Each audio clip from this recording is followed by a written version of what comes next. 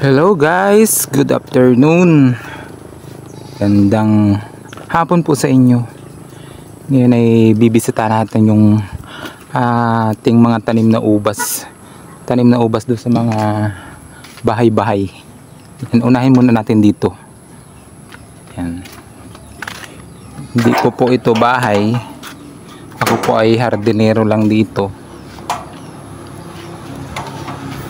Tagapag-alaga ng mga garden. Ayan. Taga-dilig. Ah, ganda ng ano. Bulaklak.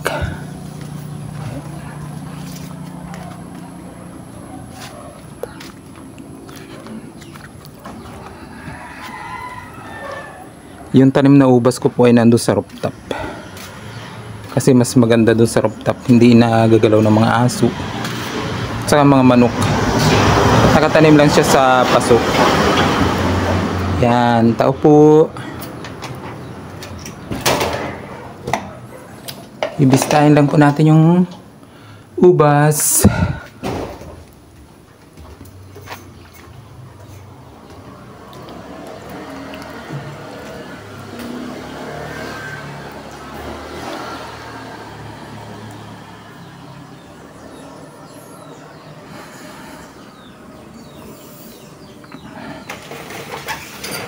Yan. Ito yung ubas na tanim ko dito sa paso. Yan. Ito yung napa bunga na natin. Ilang bisis na ito nagbunga. Pero ngayon napabunga uli natin. Siguro by sa Pasko pwede na to. Ayan po. Yan.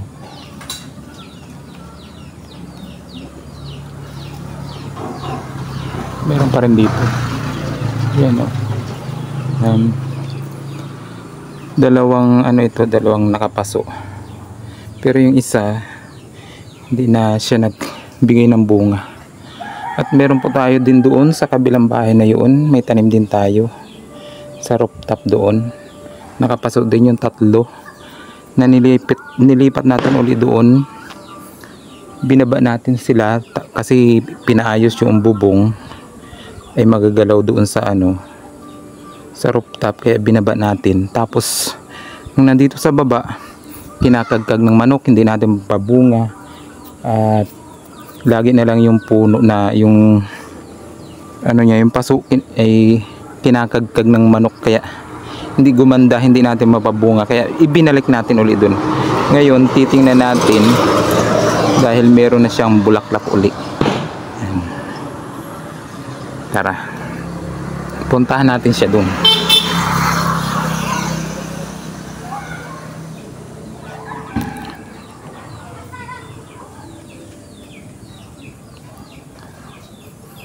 Yan.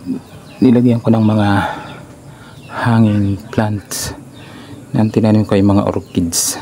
Yan, nakahangin siya. Yan. Tatlo. Yan, ganda pag may bunga, bulaklak na yan mga orchids ako lang po dito yung hardinero hindi ko po ito bahay.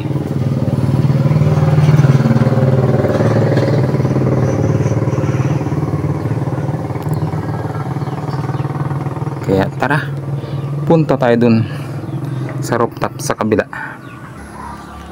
Tara na po puntahan natin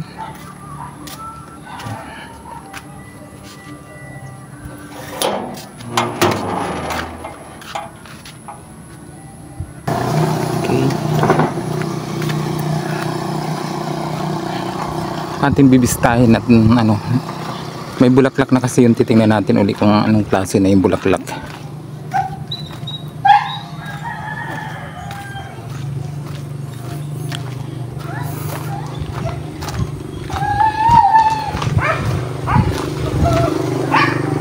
Ayan, papakyat na tayo. Dito na naman yung mga mag-anak na kutingyas. Cute itong kanilang nanay. Cute, cute, cute, cute. At ang kanyang baby. Hello. Hello, kuning. Cute nito eh. Cute. Ito, umana dun sa nanay. Tapos ito, kapatid din nila. Ang umbabang kasi dun ay ano, yung pusaka lang. Pusang kalye. Kaya, yan Mana yun doon sa tatay siguro sa umabang. Ups. Kita tayo.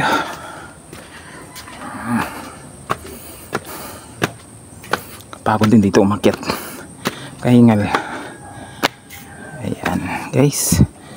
Nandun tayo galing kanina. Doon.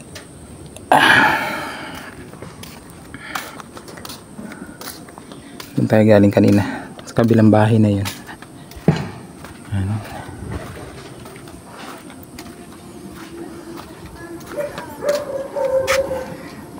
Tapos, dito naman tayo. Nandito yung ating tanim na binalik natin ulit sa rooftop.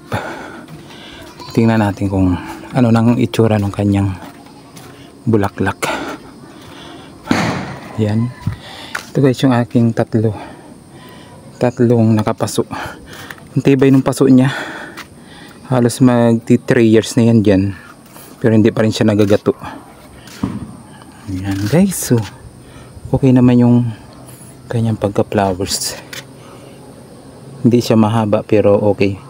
At least napabulaklak uli natin siya. Yan. Medyo okay na. Mga ilang araw po bubuka na ito. Yan. Yan. Ito. Pabulaklak natin ulit sila.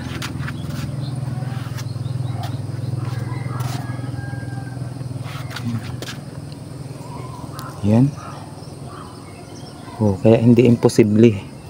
Hindi imposible na mapa bunga natin yung ubas kahit nasa paso lang, kahit nasa taas na sa rooftop, hindi direct na sa lupa nakatanim.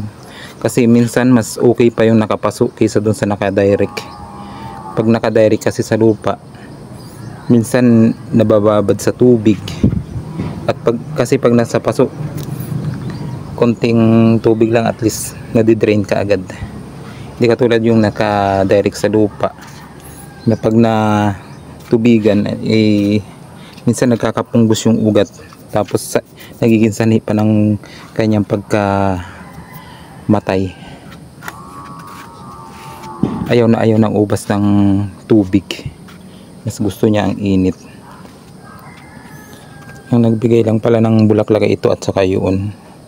Yung isa. Dito sa kabila parang wala siyang binigay na bulaklak. Pero okay naman. Healthy naman yung kanyang pagka ano pagkasanga. Siguro next year magbibigay yan ng magandang bunga. Saka papakita ko na rin yung aking kubo. Aking tinutulugan yan guys at dito po ang aking kubo. Dito ako natutulog. Yan. Siguro sa lahat ng sa bahay na dalawa na yun ay ito ang aking favorite. Tahimik kasi dito. Saka malamig. Yan. Ito yung aking kubo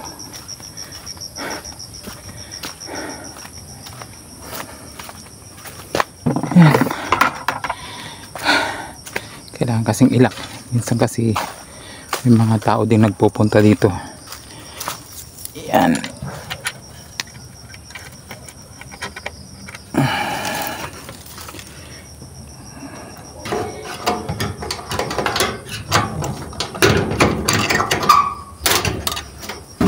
Ayan. Ito ang aking munting kubo na bahay yan. Dito ako natutulog. Masarap matulog dito. Yung ang malamig.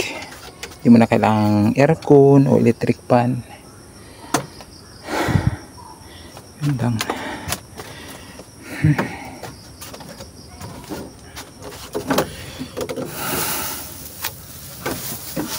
Ito ang aking mga kaldero.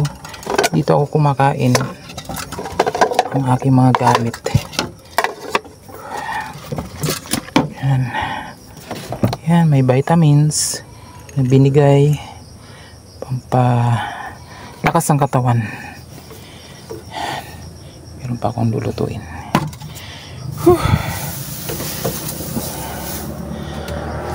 Yan ang aking kubo. Ito ako natutulog. Masarap dito matulog. Dito meron ako ditong lutuan. Dito ako nagluluto. Yan. Tapos meron diyang ah fish pond. May laman na dalag at saka hito. Yan.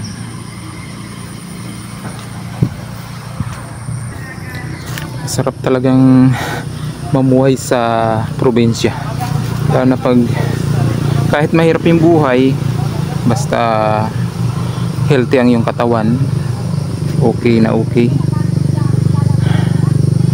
Dito press lahat ang iyong kinakain, gulay, mga gulay, kinuha mo lang dyan sa tabi, magtanim ka lang, okay na. May mga pako dyan sa paligid, may fresh buko, saka mga saging. Nandyan masipag ka lang. Okay. Basta masipag ka lang hindi ka magugutom. Meron tayong papaya. Gusto natin ng magulay o kaya ay pahinugin. Yan. Pag gusto natin ng buko andyan lang. Kuha lang tayo.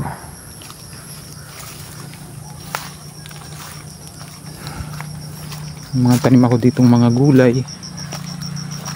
Sili. Yan kahit ano maibenta natin magiging pera. Yan. Aking mga talong. Hindi naman siya pang benta kundi pangkain lang. Pero kung may bibili syempre natin ding pagbibigyan.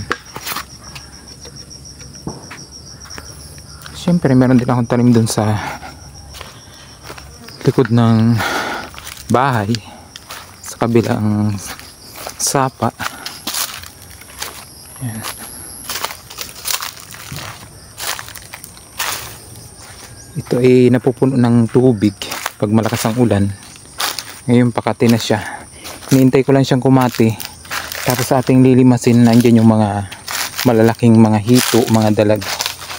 Yan, pwede nating pagkakitaan pwede nating ibenta at pwede na rin ulamin. Minsan pag wala kong ulam dyan kumukuha lang ako dyan. Taanan mo lang naman sila eh, bukas meron ka ng huli. Meron ka ng ulamin. Dito pa yung isa kong taniman. Yan. Nilini unti-unti ko itong nililinis para kahit pa paano ay mataniman.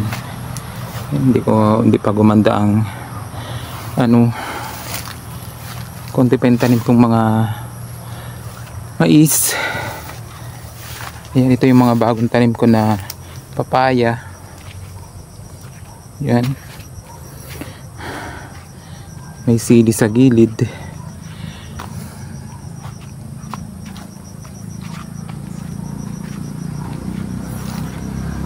Ayan. Sa paligid merong mga saging. Hindi ka talaga magugutom pag ikaw ay nasa probinsya. Napakasarap mamuhay sa probinsya kisa dun sa syudad. Masarap mamuhay sa syudad pero kung may pera ka pero pag wala kang pera gagawin mo dun. Kaya masarap dito mamuhay.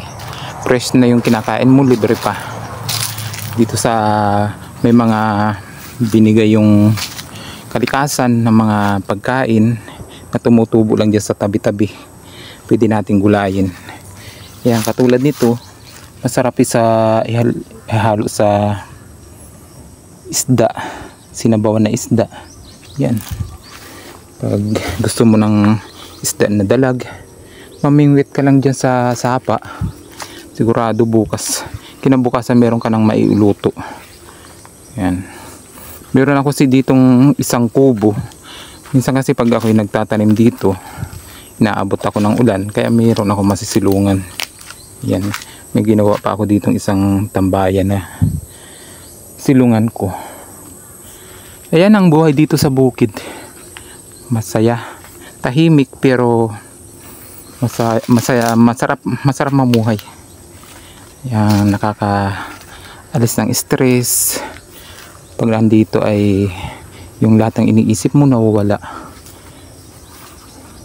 yan. Yan lang ang buhay dito sa probinsya. Salamat. Salamat sa panonood. Bye bye